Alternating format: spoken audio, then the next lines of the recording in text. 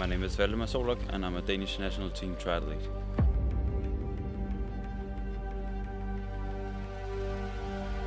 During a triathlon, I do both swimming, biking and running.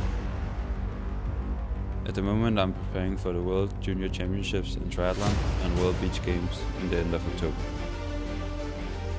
I have been training with Airofit the last few months and I cannot express how much Airofit has impacted my performance positively. I have been able to increase my respiratory strength and stamina. This has allowed me to perform better, race faster and feel stronger. Airofit, stay a breath ahead.